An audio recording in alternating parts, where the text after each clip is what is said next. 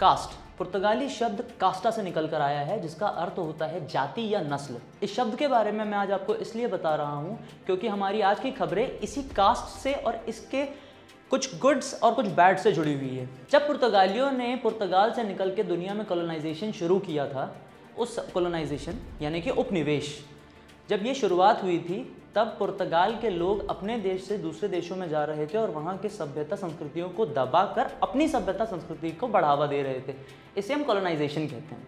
मैं आपको कास्ट का ज्ञान क्यों दे रहा हूँ? क्योंकि आज की हमारी खबर कास्ट से ही निकल कर आ रही है। बेंगलुरु के मशहूर अभिनेता और मक्कल निधि मध्यम के रीजनल पॉलिटिकल पार्टी के फाउंडर कमल हसन रविवार को एगमोर, चेन्नई में एक बुक स्टॉल और कल्चरल सेंटर का उद्घाटन किया। इस उद्घाटन में उन्होंने कुछ ऐसी बात कही है जिनका आप तक पहुँचना बहुत ज़्यादा ज़रूरी है। इस बुक स्टॉल और कल्चरल सेंटर का निर्माण फ़िल्म निर्माता वेंकट प्रभु, जिन्हें हम पी ए रंजीत के नाम से भी जानते हैं, उनके द्वारा किया गया है। इस उपलक्ष्य में दिए हुए अपने भाषण में श्री हसन ने कहा कि राजनीति में जाति, यानी कि कास्ट, उनका सबसे मुख्य दुश्मन है। उन्होंने बताया, मैं 21 साल की उम्र से ये कह रहा हूँ, मैं तब से अभी तक की तुलना में परिपक्व, यानी कि मैच्योर हो गया हूँ और इस बात को मैं अपने कर्मों से व्यक्त करता हूँ।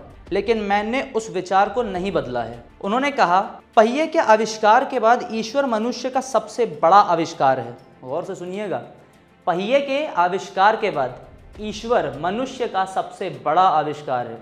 डॉक्टर बी आर अंबेडकर हमसे तीन पीढ़ी पहले आए और अंबेडकर ने राजनीति से जाति को खत्म करने के लिए संघर्ष किया। यह अभी होना बाकी है।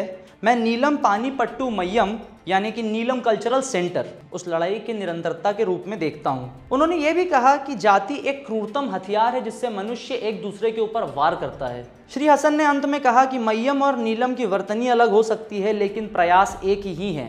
भारत में जातियों से मेल खाता हुआ एक सिस्टम और हुआ करता था, जिसे वर्ण सिस्टम कहते थे। इस वर्ण सिस्टम में मनुष्य की पहचान, उसके समाज में दिए जा रहे योगदान से पता चलती थी। सोने का काम करने वाले को हम सोनार कहते थे, लोहे का काम करने वाले को लोहार कहते थे, इस प्रकार अन्य अन्य किस्म के काम करने वालों को उनके नामों से बुलाया जाता था। सब कुछ सही ढंग से चल रहा था और इसी में पुर्तगाली ले आते हैं कास्ट सिस्टम। इतनी पुरानी समस्या, और आज भी हमें कभी राजनीतिक तौर पे तो कभी निजी तौर पे देखने को मिल जाती है। अब आप बेंगलुरु के जैन कॉलेज का ही किस्सा देख लीजिए। छह स्टूडेंट्स को निलंबित कर दिया गया है, क्योंकि उन्होंने बी आर अंबेडकर के बारे में मज़ाक उड़ाते हुए और भी कुछ ऐसी बातें कही हैं, जिन्हें आपका देखना और समझना बहुत ज़रूरी है। इस महीने की शुरुआत में डॉक्टर बी आर अंबेडकर और दलितों के खिलाफ आपत्तिजनक टिप्पणी करने के आरोप में निलंबित किए गए छात्र जैन कॉलेज से हैं। और अब हम आपको एक वीडियो दिखाने वाले हैं, जिसमें आपको ये साफ़ तौर पर समझ में आ जाएगा किस तरह की अभद्रता बी आर अंबेडकर और सभी दलित समाज के लोगों के प्रति दिखाई गई है। आइए इस वीडियो को गौर से देखें B.R. Ambedkar? Hey, no, no, no. B.R. Ambedkar. Why be a Dalit when you can be Dalit? Look at date. There also she didn't let him eat from same plate. Girlfriend asked him why he arrived here so fast. Hey, baby, it's because I'm from scheduled caste. Don't touch me, touch me, touch me. Don't touch me, touch me, touch me. And faced a lot of discrimination in the past.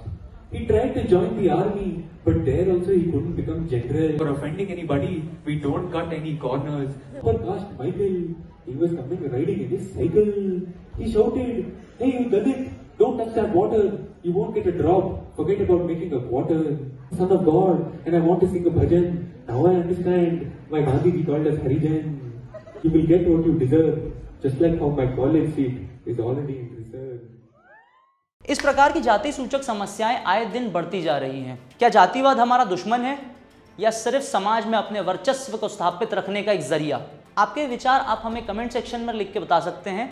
अगर आपको हमारा कार्यक्रम पसंद आया तो इसे like और share करें और ऐसी खबरों से जुड़े रहने के लिए आई बी के social media platform Khabar Bebak को सब्सक्राइब करें।